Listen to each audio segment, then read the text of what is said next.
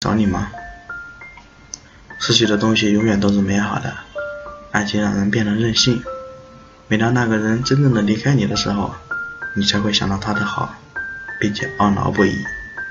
碍于面子，又不想哀求他回到你的身边，那么对方是否会回来主动来找你呢？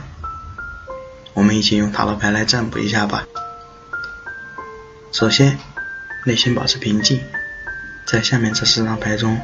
选择一张你第一印象最深刻的牌来，选好了吗？我们开始打开第一张牌。第一张牌，宝剑王后。对方会回头找你的概率，说起来确实比较小的。或许因为你们之间已经有了挺深的芥蒂，要他主动再来找你已经很难了。非常可能你们的未来就这样淡漠下去了。我们开始打开第二张牌。第二张牌，星币三。应该来讲，对于他还是有一定的概率会回来找你的，但是可能并不会很快。看来还需要注意，在未来他身边会不会有让他分心的事情，异性的出现。如果出现了，是否还会来找你就不好说了。我们开始打开第三张牌。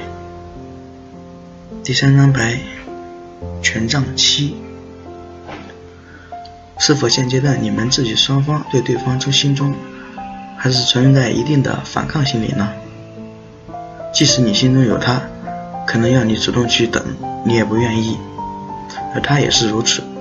如果中间没出现什么特殊情况的话，应该来讲，他会主动来找你的概率比较小，除非你去找他。